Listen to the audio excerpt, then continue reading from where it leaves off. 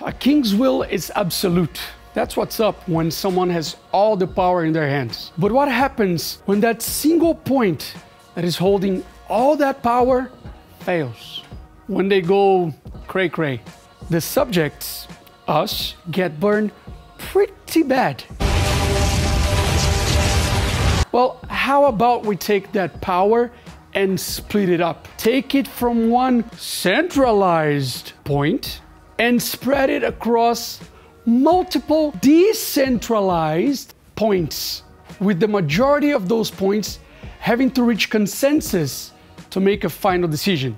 I'm talking about decentralizing data, which is the solution to the trust issues we have with data being stored in a single point under the control of a single company or entity.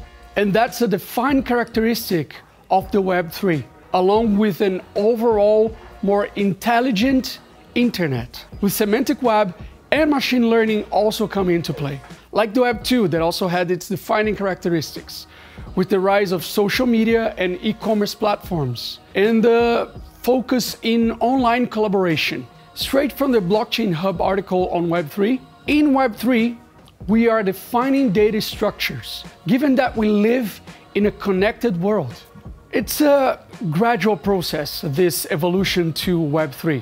It's all about the reversal of how privacy and personal data are handled. Uh, user-centric internet. And we are all over that. There are still challenges that need to be sorted out before we can be fully decentralized. A major one being scalability due to how fast uh, decentralized solutions are at this point in time. We are not likely to forsake centralized systems. They have their uses after all.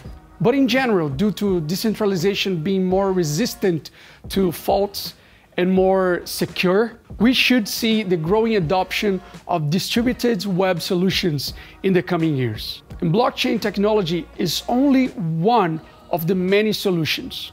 Are you looking forward to Web3? Where do you see it being useful the most? That's all for now. Till next time, I'll see you all later.